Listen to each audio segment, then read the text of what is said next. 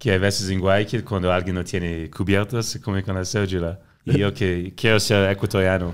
Claro, ahora que vives en Ecuador debe ser como emocionante la idea de que el resto del mundo conozca lo que pasa acá, ¿no? Toda la biodiversidad de personas, de lugares. Siempre yo pienso en eso porque con Dani hemos hecho algunos videos de turismo y siempre es como que digo, más gente debe conocer esto, ¿no?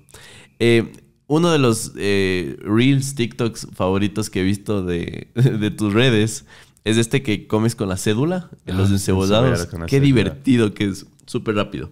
El, el Josh se va a pegar un encebollado. Me parece que es en Guayaquil, ¿no? En Guayaquil, Ya, hace tres se va a pegar un encebollado y dice, bueno, aquí se come con, con cédula. Saca cédula y se empieza a comer el encebollado. Y empiezas a pedir a, a gente que estaba por ahí cruzando su cédula. No. Sacan y se empieza a pegar el encebollado. ¿De dónde venía esa idea o qué? Pero alguien, mucha gente me había dicho que es verdad, que a veces en Guayaquil, cuando alguien no tiene cubiertos, se come con la cédula. Y yo que quiero ser ecuatoriano. O, o sea, yo sabía que se come con, con cédula, pero un encebollado está como extremo, ¿sabes? ¿Nunca has probado con cédula? No, no, no. Ah, tengo buen cédula, es bien sucio. amigo. Para ti después. Lo que sí es como el arroz, ¿ya? Cuando no tienes cuchara, ok, sacas la cédula. Pero un encebollado es un poquito más, Más complejo, difícil porque es que líquido. Es líquido. ¿no? Sí, por, por eso preguntaba a otras personas, más sazón. Sazón diferente. ya, em, quería, quería hacerte otra Yo, cosa. yo solo, solo quería retomar, perdón, para Sí, sí, entender tranqui. cómo sales de, de- de Montreal y entender cómo, cómo llegas acá. Entonces sales y cuál es tu primer país que visitas después de tu ciudad natal, pues. Pero cuando era niño, una vez me fui con mi familia a Florida, en Estados Unidos, y me gustó mucho. Tenía, no sé, ocho años.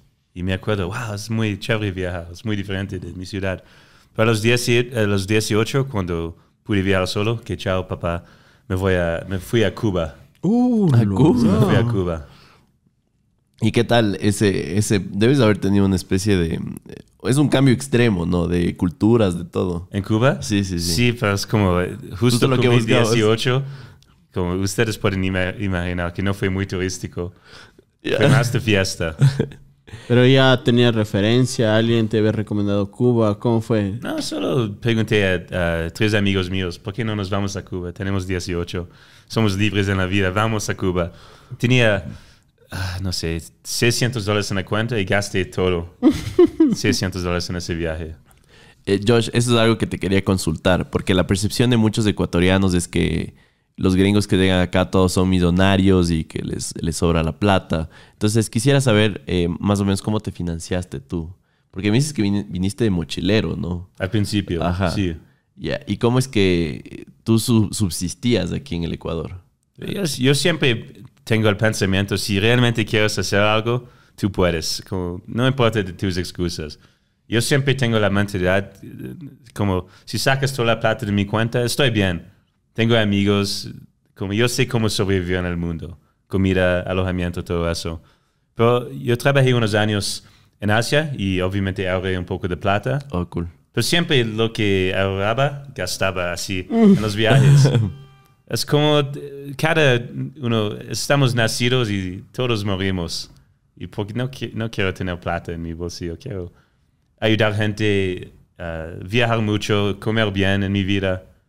Cool. Y siempre gastaba en eso. Entonces tenías un poco de ahorros. De Sí, Asia. sí, sí. Con eso subsististe al inicio. Sí, ¿no? ahorré un poco. Igual, ya que estaba mochileando, no es como vivía muy bien. No es como me hospedaba en hoteles de lujo. Oh, oh, comprendo. Y aparte supongo que los, los costos del hospedaje, la alimentación aquí, ¿cuál fue tu percepción como extranjero? ¿Fue barato? Muy Caro? barato, sí. Sí, ¿no es cierto? Es can- la vida en Canadá es muy costoso. Como comí, cuando me, me fui hace tres meses a visitar a mi familia, comí encebollado y pagué 25 dólares Ah, con impuesto y con, con propina. Sí, es. Sí. ¿Pero ¿dónde, dónde comiste encebollado? ¿Alguna Encebollado, en, de- en- en Toronto. Encebollado de 25 dólares. Encebollado de 25 dólares, sí. En Ambato, yo soy de Ambato, hay encebollados desde un dólar. Sí, no, es Sí. lo que digo. La vida en Canadá es muy costoso. Te sales a comer y dos personas comiendo promedio sale como 50, 60 dólares la cuenta. Algo, Y también decían que por el tema de inflación igual habían muchas cosas que habían subido, pan Sí, y todo. sí. Pero una de las cosas que más cara era era el tema del arriendo, ¿no? Como En las Canadá, casas. sí, yo pagaba Sí, mu- mucha, mucha plata. sí, mucha plata. Ya acá es mucho más Oye, barato. pero, pero bueno, entonces, llegas, vas a Cuba y entiendo que después empiezas a visitar otros países y te vas a Asia a trabajar.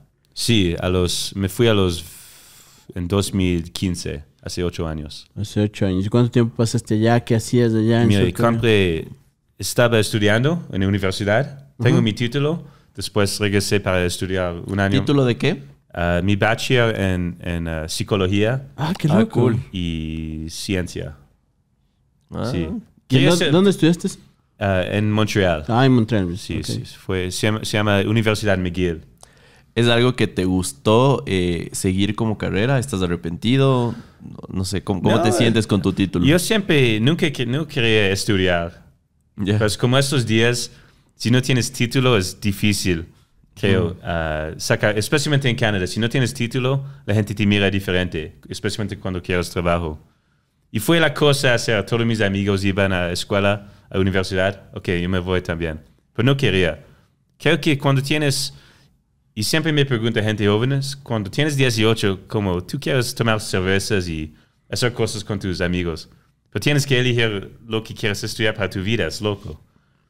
Y para mí psicología era, ok, pero les cuento la razón real para que estudié. de una. No sabía qué hacer, solo quería viajar, pero obviamente no tenía plata, era difícil. Y un amigo mío me dijo que era soltero en esa época. Me dijo, si en psicología hay el, porcentaje más grande De mu- de mujeres, como 70%. Y me dijo eso mi amigo y busqué en Google qué programa tiene más mujeres. Y psicología, y ese mismo día, ok, voy, el gringo, yo voy a estudiar psicología. ya está decidido. Sí, digo, también me interesaba, pero la razón principal era para las mujeres. Y- Oye, después a- acabas la universidad. Me imagino tuviste alguna novia por ahí para, para darle sentido a la carrera. Pero después sales a Asia. a- Sí. O sea, inmediatamente acabas la carrera, dijiste voy a Asia. Más o menos sí. Como acabé para tener mi título, regresé, quería estudiar una maestría en negocios y me renuncié porque estaba muy aburrido. Igual es como daba cuenta, los profes enseñándome sobre negocios y como, ¿dónde vives tú? Ah, en un departamento muy feo.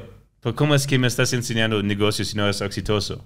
Como quiero aprender de alguien que realmente está enseñándome lo que claro, lo que ha practicado, lo que ha Sí. hecho en su vida. Nosotros, nosotros siempre ponemos este ejemplo. Eh, estudiamos acá en una universidad y los profes que teníamos de emprendimiento nunca habían emprendido en su vida. Claro, profes de emprendimiento nunca lo habían hecho. Sí, es como yo les enseño cómo hacer un podcast, pero tienes un podcast.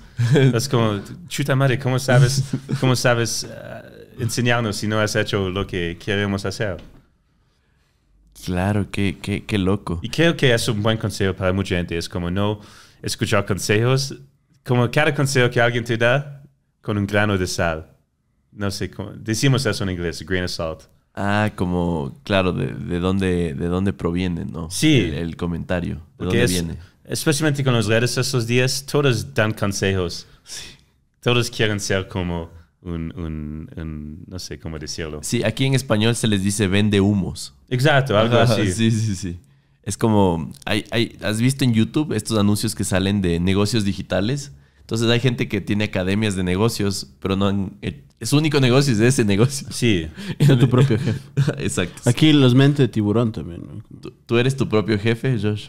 pues como sí, soy. Pero digo, igual recibo mensajes y clic, a veces recibo mensajes, gringo, ayúdame con lo que sea, y un hago un clic sobre el perfil de la gente y dice como emprendedor, como jefe de 100 negocios, pero me está pidiendo como 10 dólares.